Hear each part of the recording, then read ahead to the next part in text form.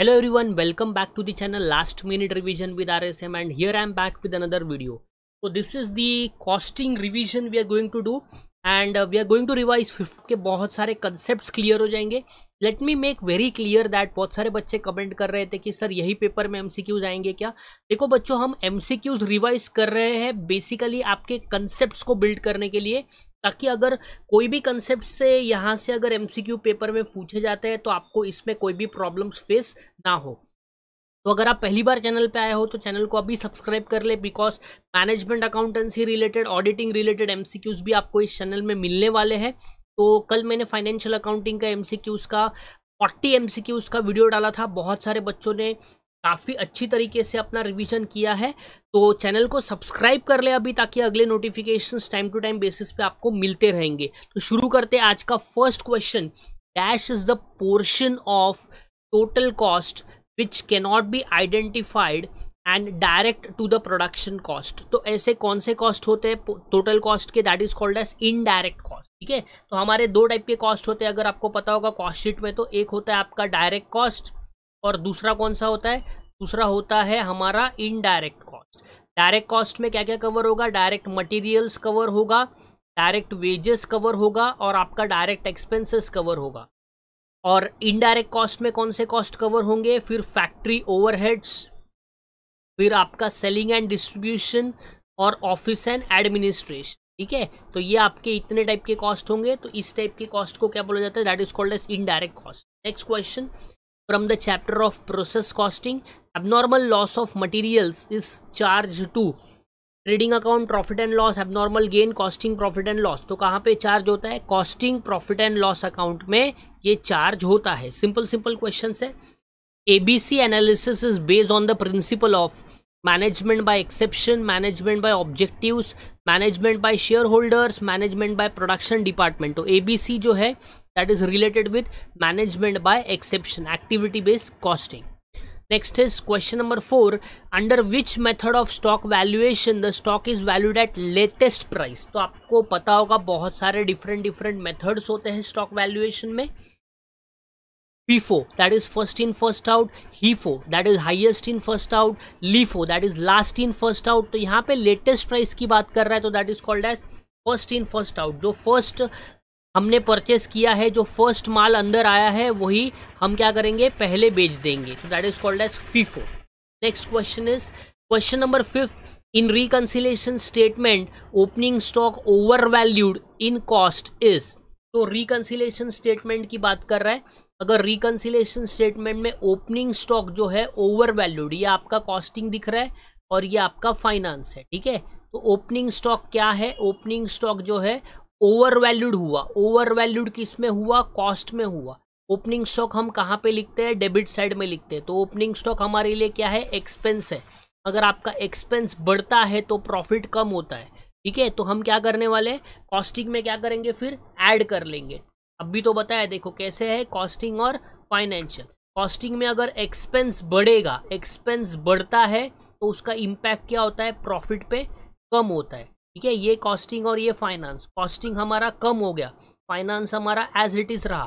तो अभी हमको क्या करना पड़ेगा? कॉस्टिंग को फाइनेंस के लिए सेम करना है तो सेम करने के लिए क्या करना है? उसको ऐड करना पड़ेगा। तो राइट right आंसर आपका बनने वाला है added to costing profit and loss next point dash time is the difference between the time for which the employees are paid and the employees time book against the cost object तो piece rate system Gantt task ideal या minimum तो उसको हम क्या कहते हैं? That is called as ideal time ठीक है? उसको हम क्या कहते हैं? That is called as ideal time is the difference between the time for which the employees are paid and the employees time book against the cost object next question number seven देखते हैं under which premium plan the time wages are guaranteed तो इनमें से कौन से plan के अंदर जो टाइम वेजेस होते हैं, वो गारंटेड होते हैं? Halsey plan Rowan plan Merrick's plan या एमरसन्स प्लान तो that is been guaranteed under which plan Halsey plan Halsey plan के अंदर जो टाइम वेजेस होते हैं, वो गारंटेड होते हैं. Next is direct materials direct wages and direct expenses are treated as fix cost variable cost semi variable cost और indirect cost तो मैंने आपको ऑलरेडी बताया कि direct materials direct wages and direct expenses को हम कौन से टाइप की कॉस्ट कहते हैं? That is called as variable cost जिसका इम्पैक्ट डायरेक्टली सेल्स के रिलेटेड होता है। नेक्स्ट क्वेश्चन में आते हैं। Under cost sheet drawing office salary ध्यान से ये वर्ड काफ़ी इंपॉर्टेंट है। आप इधर ऑफ़िस वर्ड देख के कन्फ्यूज़ हो जाओगे।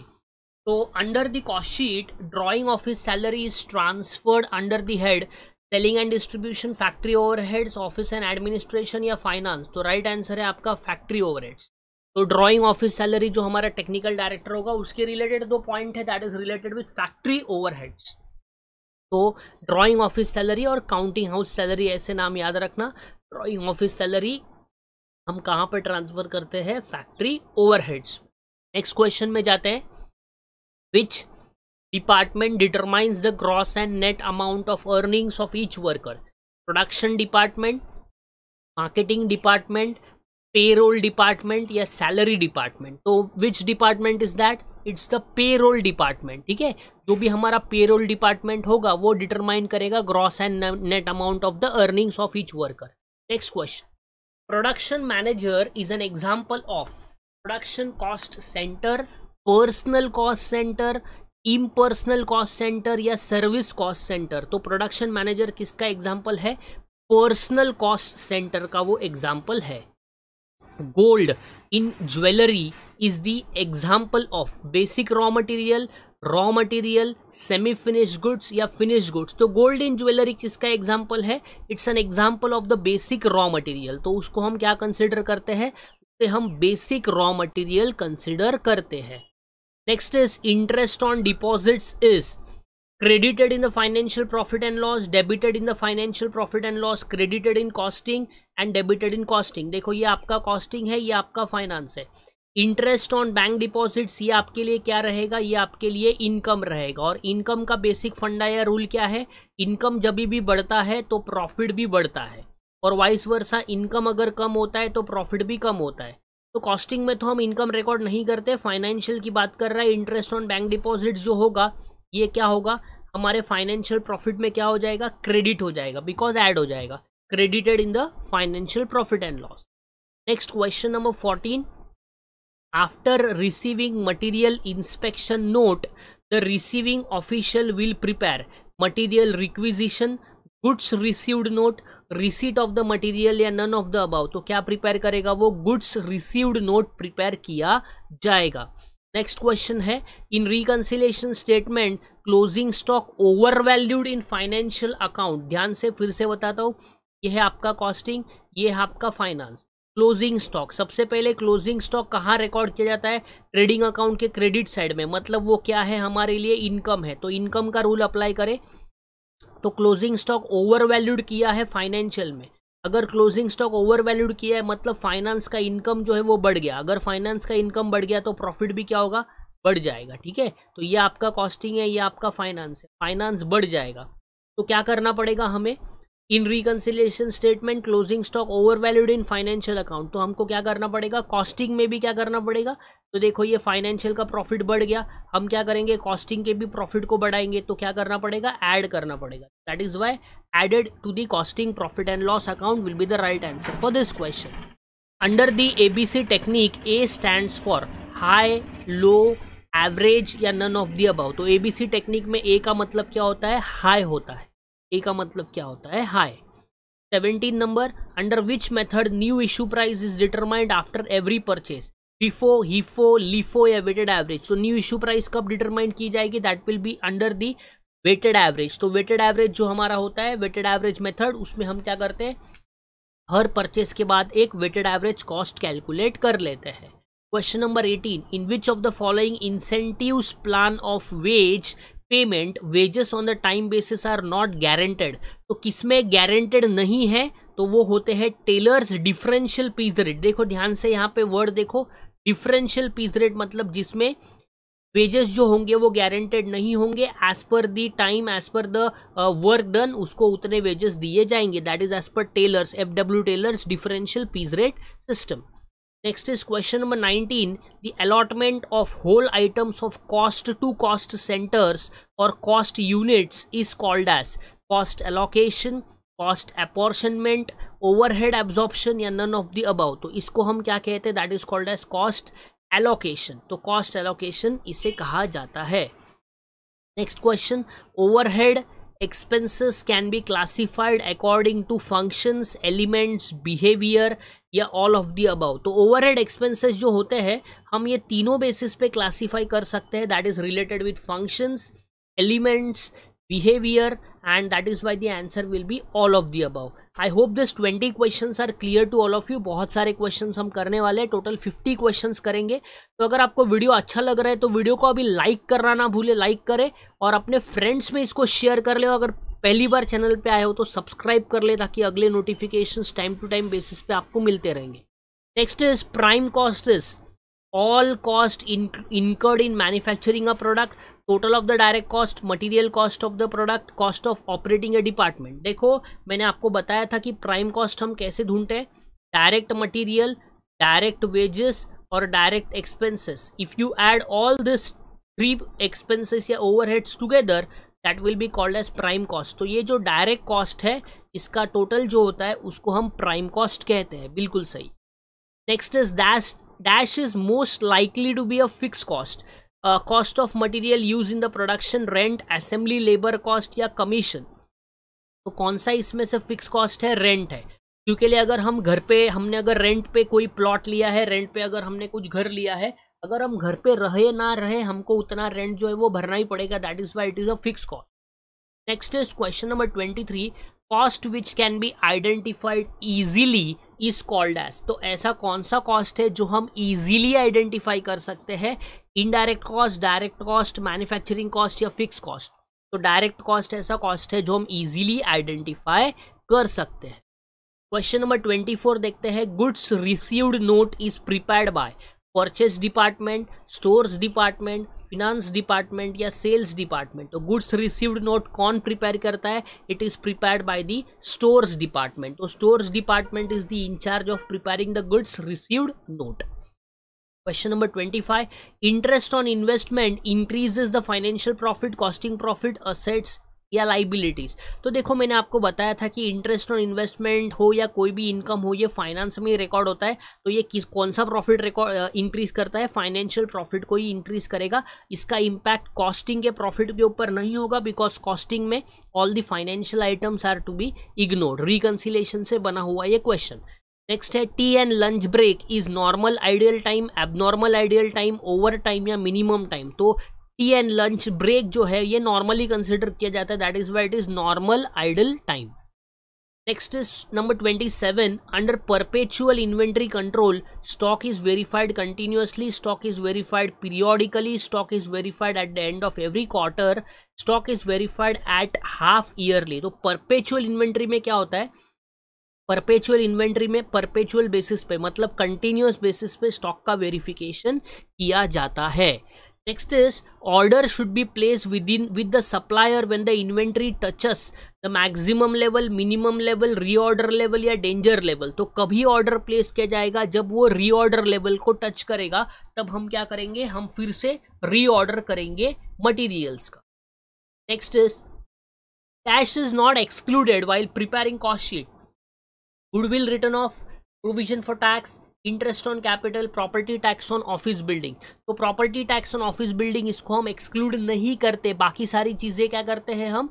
एक्सक्लूड करते हैं। मतलब गुडविल रिटर्न ऑफ़ हम कॉस्टिंग में नहीं लिखते प्रोविज़न फॉर टैक्स हम कॉस्टिंग में नहीं लिखते इंटरेस्ट ऑन कैपिटल हम कॉस्टिंग में नहीं लिखते because these all points are financial items and you are very much aware about the concept that financial items are to be ignored while preparing the cost sheet. इसीलिए ये तीन points हम नहीं लिखेंगे बट हमको यहाँ पे कौन सा बोल रहा है? नॉट एक्सक्लूडेड बोल रहा है मतलब हमारा लास्ट आंसर जो रहेगा, वो राइट right आंसर आपका बन जाएगा।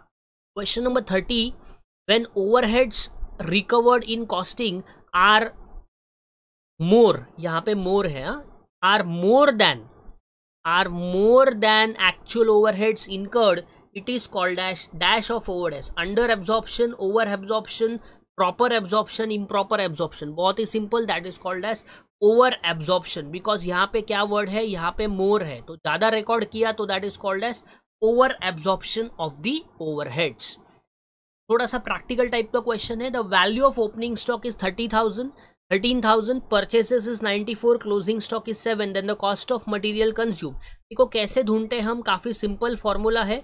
ओपनिंग स्टॉक में ऐड करना है परचेजेस और उसमें से आपको लेस करना है क्लोजिंग स्टॉक तो आपको मिल जाएगा कॉस्ट ऑफ़ मटेरियल कंज्यूम ठीक है? तो कैसे ढूंढेंगे अभी देखो ओपनिंग स्टॉक थर्टीन थाउज़ेंड है हमारा परचेजेस कितना है? Purchases is ninety four thousand और इसमें से आपका क्लोजिंग स्टॉक सेवन थाउज़ेंड ये माइनस कर दो तो आपको आंसर मिल जाएगा one lakh that will be your cost of material consume number thirty two which of the following expenses are treated as running charges while calculating machine hours तो running charges इसमें से कौन से कौन से हैं जब हम मशीन आर का कैलकुलेट करते हैं? Rent and taxes general lighting estimated repairs या इंश्योरेंस प्रीमियम तो इसमें से सबसे इंपॉर्टेंट पॉइंट है हमारा रनिंग चार्जेस का that is called as estimated repairs because बाकी सारे आपके फिक्स कॉस्ट है। If prime cost is two lakh eighty five six twenty five factory over are twenty percent of prime cost and closing W I P five two five zero फिर net work cost ढूंढना है। देखो, सबसे important इसके लिए आपका format clear होना चाहिए। तो ये क्या बोल रहा है? प्राइम कॉस्ट आपको दिया है। ठीक है? प्राइम कॉस्ट के बाद क्या करते हैं हम? ऐड करते हैं फैक्ट्री ओवरहेड्स को। फैक्ट्री ओवरहेड्स के बाद हम क्या करते हैं? ऐड करते हैं ओपनिंग स्टॉक ऑफ़ WIP ठीक है? ओपनिंग स्टॉक ऑफ़ WIP फिर हम क्या करते हैं? लेस करते हैं closing stock of W I भी इसमें सब्सटीट्यूट कर लो, आपको वैल्यूज़ मिल जाएँगे। यहाँ पे अगर प्राइम कॉस्ट की वैल्यू कितनी है? Two lakh eighty five thousand six hundred and twenty five factory overheads क्या बोलता है? ट्वेंटी परसेंट ये ट्वेंटी परसेंट आपको कैलकुलेट करके देखना है ये अमाउंट का। फिर ओपनिंग स्टॉक डैश है क्लोजिंग स्टॉक कितना है? फाइव टू फाइव ज़ीरो ठीक है? तो ये ट्वेंटी परसेंट ढूंढो, यहाँ पे आपको अमाउंट मिल जाएगा। ठीक है, यहाँ पे अमाउंट मिल जाएगा, ये अमाउंट और ये अमाउंट ऐड कर लो, इसमें से five two five zero less कर लो that will be your net work cost तो आपको फाइनल आंसर मिलेगा three lakh thirty seven thousand five hundred will be your net work cost number thirty four under primary distribution of the over heads sundry expenses are allocated in the ratio of value of stock floor space direct wages number of workers तो it will be allocated on the basis of direct wages. ठीक है? Primary distribution of overheads काफ़ी important chapter है। Overheads costing में, वो direct wages के ratio में हम उसको डिवाइड करते हैं। अगेन एक प्रैक्टिकल टाइप का question if direct material is five lakhs number of units is 20000 in the year 2019 in the year 2020 the number of units will be 30000 the material cost will be increase by 10 percent ध्यान से काफ़ी important what will be the revise material cost तो पहले सबसे पहली चीज़ क्या करनी है हमको देखो। सबसे पहली चीज़ हमको क्या करनी है? फाइव लैक्स को आपको डिवाइड करना है ट्वेंटी थाउज़ेंड से। क्या करना है? फाइव लैक्स को ट्वेंटी थाउज़ेंड से डिवाइड करना है। काफ़ी सिंपल है। ताकि हम क्या करेंगे? पहले पर यूनिट की कॉस्ट को ढूंढ लेंगे। तो फाइव लैक्स को आपको सबसे पहले क्या करना है? ट्वेंटी थाउज़ेंड से डिवाइड करना है। तो आपको क्या मिल जाएगा? पर यूनिट की कॉस्ट मिल जाएगी that will be twenty five ठीक है? ये कौन से ईयर की कॉस्ट है? 2019 की कॉस्ट है। फिर क्या बोल रहा है? 2020 में नंबर ऑफ़ यूनिट्स कितनी बनेंगे? थर्टी थाउज़ेंड बनेंगे। लेकिन 2020 में जो है, हमारा पर यूनिट का कॉस्ट टेन परसेंट से बढ़ेगा। तो पच्चीस प्लस टेन परसेंट आपको करना है। ठीक है? पच्चीस में आपको क्या करना है? टेन परसेंट प्लस करना है। वैल्यू कितनी मिल जाएगी? आपकी नई कॉस्ट कितनी होगी? Twenty seven point five will be your direct material का रिवाइज पर यूनिट कॉस्ट अब बोल रहा है कि नंबर ऑफ़ यूनिट्स कितना रहेगा? नंबर ऑफ़ यूनिट्स आपका बनने वाला है थर्टी थाउज़ेंड ठीक है? तो काफ़ी सिंपल है। ट्वेंटी सेवन पॉइंट फाइव तो आपने पर यूनिट ढूंढ लिया। अब उसको आपको मल्टीप्लाई करना है थर्टी थाउज़ेंड ताकि आपको वैल्यू मिल जाए और वो वैल्यू आएगी eight lakhs twenty five thousand मिलेगी value eight lakhs twenty five thousand इस तरीके से इसका कैलकुलेशन करना है। आई होप ये आपको कैलकुलेशन समझ में आया है। अगर कैलकुलेशन समझ में आ रहे हैं, ये वीडियोस इंटरेस्टिंग लग रहे हैं तो लाइक करना ना भूले जल्दी जल्दी लाइक करें। Next number thirty six holiday pay is apportion on the basis of supervisors pay direct wages direct material या नंबर ऑफ़ वर्कर्स तो कौन से बेसिस पे डिवाइड होता है? हॉलीडे पे भी डायरेक्ट वेजेस के बेसिस ही डिवाइड होता है। In reconciliation statement closing stock over valued in financial account तो क्लोजिंग स्टॉक अगर फाइनेंशियल अकाउंट में ओवर वैल्यूड होगा तो हम क्या करेंगे? हम कॉस्टिंग में भी उसको एड बैक कर लेंगे। मैंने अब भी आपको एक्सप्लेन कर दिया था। अगेन प्रैक्टिकल टाइप का क्वेश्चन आया है। कॉस्ट ऑफ़ प्रोडक्शन आपके सामने अवेलेबल है sixteen lakhs selling and distribution over दिया है। सेल्स भी दिया है प्रॉफिट ढूंढना है। तो देखो फॉर्मेट हम लिखेंगे। सबसे पहले आता है आपका कॉस्ट ऑफ़ प्रोडक्शन ठीक है? कॉस्ट ऑफ़ प्रोडक्शन कितना दिया है? It's sixteen lakhs cost of production में हम क्या करेंगे? सेलिंग एंड डिस्ट्रीब्यूशन ओवरहेड्स को ऐड करेंगे। सेलिंग एंड डिस्ट्रीब्यूशन ओवरहेड्स देखो कितना दिया है? थ्री लैक्स तो sixteen lakhs plus three lakhs कितना आ जाएगा? नाइनटीन लैक्स ठीक है? What is this this is your cost of sales इसको हम क्या कहते हैं? इसको हम कहेंगे कॉस्ट ऑफ़ सेल्स इस कॉस्ट ऑफ़ सेल्स में हम क्या करेंगे? प्रॉफिट को ऐड करेंगे। तो फाइनल आंसर क्या मिलता है? सेल्स मिलता है। तो sales is already given in the question as four lakhs तो ट्वेंटी फोर लैक्स आपको सेल्स दिया है तो आपको क्या करना है? ट्वेंटी फोर लैक्स में से नाइनटीन लैक्स को माइनस करना है। तो आपको बैलेंसिंग फिगर जो मिलेगा that will be five lakhs वो आपका क्या बनेगा? प्रॉफिट बनेगा और यहाँ पे राइट आंसर है आपका फाइव लाख रुपीज़ का profit next question dash is most likely to be a fixed cost. Cost of material use in production rent assembly labour cost या कमीशन तो इसका राइट आंसर है rent a cost which can be identified easily is called as direct cost indirect cost so right answer banega aapka